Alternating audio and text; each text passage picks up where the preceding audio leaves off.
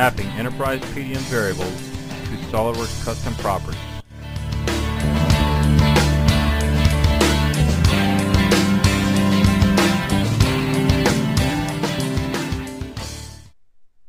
Within Enterprise PDM, we add controls to our data cards to then store values in the variables within e Enterprise PDM. It is most valuable to have these variables also mapped to custom properties within SOLIDWORKS. Many times custom properties will populate dialog boxes or title blocks. Here we can see in this file custom properties exist such as description, check by, check date, number, and revision. Linking these to the notes is rather simple. Right click, edit sheet format, double click the note, and then in the properties dialog box left click on the link to property and then choose the property you wish to link to. Here checked by will be selected and then we'll add check by date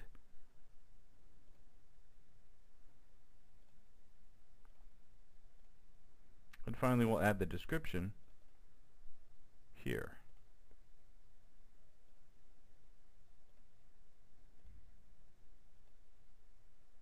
I've added some default values just for the demonstration. Then I'll edit, exit edit sheet format.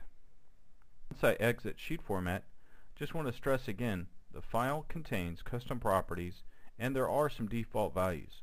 However, when we want to go into production with this template, we want to remove those default values with creating a space for a null value, if you will.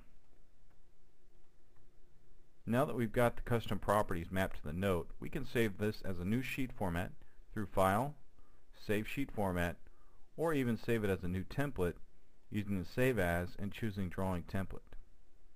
In this case, what I'll do is simply save this as a new drawing into the Vault. Here I'll choose my Enterprise PDM Vault, and I'll just save it as Drawing 1. Now looking in the Vault, we'll see drawing 1 exists, but there aren't really any values. And at this point in time, the values if entered in the data card will not map to the title block or the file itself. So what we'd like to do is go ahead and map that. To map those variables, we'd like to go ahead and edit the data card through the admin tool. So I'll access the drawing data card, select in this case the description field.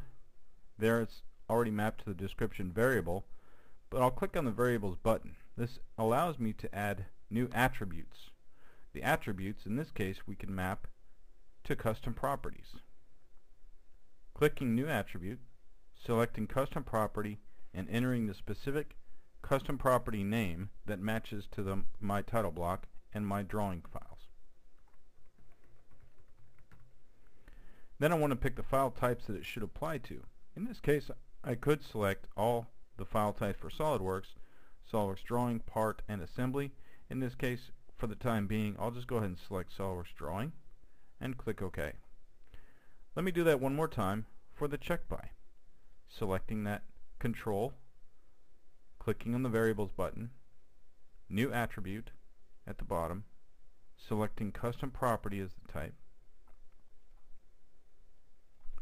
Check by is the attribute name, in this case custom property name. Make sure you match that specifically to your custom names. If there's a space, be sure to put the space in as well. Let me go ahead and select drawing once again. Click OK, and I'll do it one more time for check date. Clicking variable. And there you can see I've already got that one mapped actually, so I'll click OK. One more I might want to check is the number variable. I'll go ahead and add that as well custom property number and let me map that to actually all three. And I'll just remove that PRT and click OK. Once again when we finish that we'll go ahead and click OK and save.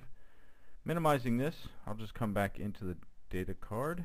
And let's go ahead and add a new description and see if it is now mapped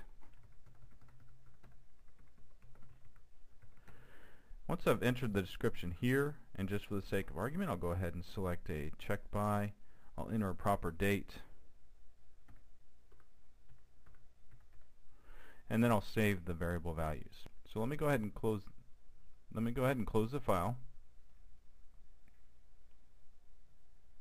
Coming back to the data card, I'll go ahead and click the Save button. One thing you might need to do is go ahead and select the drawing and under Modify, Update, write the file attributes from the database to the file itself. This will push the values that I've entered in the data card down to the file. We can double check this by clicking on the Preview button if you wish. This will bring up the eDrawings previewer and you can also see the custom properties over here on the right side now filled in with number, description, check by, and check date. To verify this in the file, I'll just drag and drop this to the SOLIDWORKS screen. Minimize the browser window and you can see now the values have been filled in in the custom properties. And just to verify one more time, what we can do is change the date.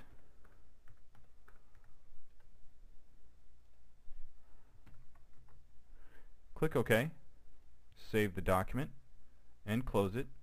Coming back to the Enterprise dialog box and the data card itself, I'll click on the drawing and we should see those values have now been changed. Thank you very much for watching.